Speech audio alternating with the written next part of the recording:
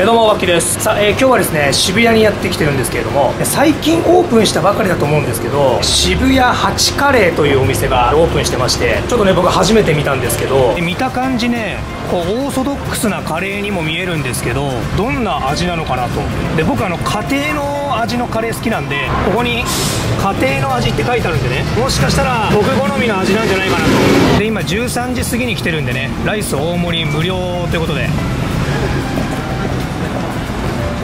それでは今日は渋谷八カレーさんでカレーを食べていきたいと思います。行ってきます。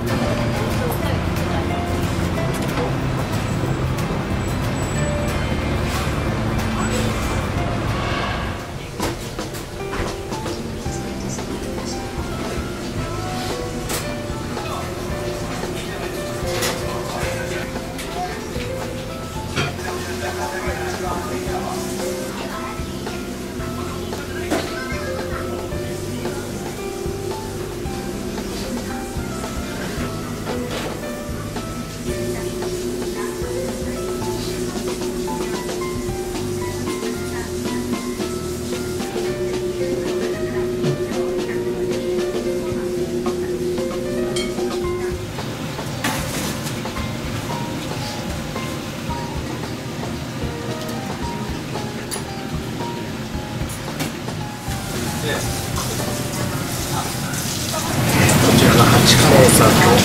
全部の攻めでございます。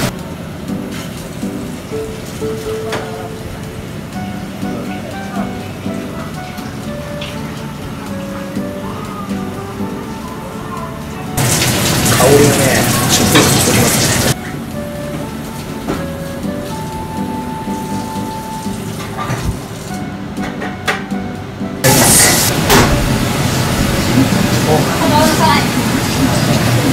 ルーめちゃくちゃうまいです。ねかなり甘めなルーでちゃんとピリッとスパイスも効いてて刻んだ玉ねぎがね残ってて食感がまたいいですねこれあのご飯が進みますねロースカツカツもね揚げたてでさっぱりとしてジューシーでうまいっす。ふわっとしたらうまいっすね唐揚げ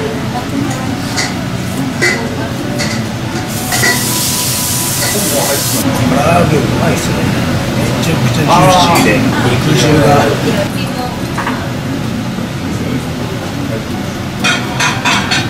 エビフライもね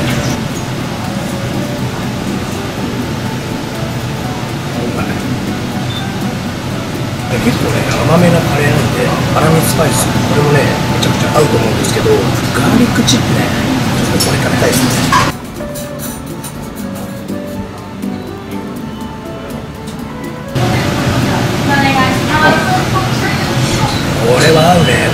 辛めなルーにねこのニンニクのアクセントは最高ですね。うんオニオンフライですね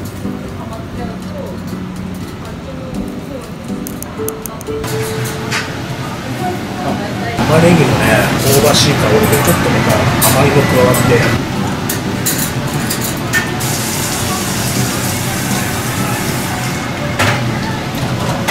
めなカレーで結構パック進めていけるんですけど半分ぐらい食べると口の中にねやっぱりこうスパイス辛みが停滞してるんでだんだん毛穴から少しずつ汗がじんわり出てくるというか。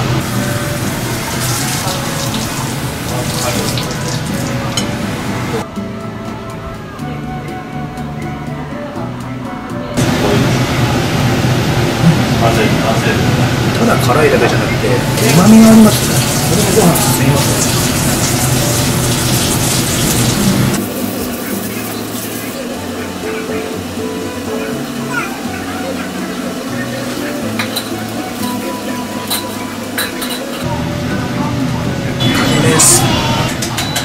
さあそしたらですね渋谷八カレーで、えー全部のせのねカレーをいただきましたけれどもとにかくね一口食べたら甘みが強くて店員さんに聞いたらスパイスかなり使ってるんですけどフルーツもねふんだんに入れてるということでルーが甘みがあるからご飯がねすごい進むんですよ。僕大盛りにしたんですけどそれでもちょっと白飯もうちょっと欲しかったなっていうぐらいすごくねご飯に合うルーでしたね。ロースカツもうまかったしエビフライも美味しかったしなおかつあの唐揚げがねめちゃくちゃジューシーで美味しかったですね。で最近金沢カレーって結構流行ってると思うんですけけどもルーの味わいがね全然違うんで家庭の味わいもありつつでもちょっと新しいルーでしたけどね僕の中では。で場所が JR 渋谷駅から徒歩5分6分ぐらいですかね目の前明治通り沿いなんですけども結構ここの通りは飲食店がずらっとねいろんなお店があるんですけどもぜひ新しい味わいの、え渋谷8カレー美味しいカレーありますんで、え食べに来てみてはいかがでしょうか、えー以上わけでした。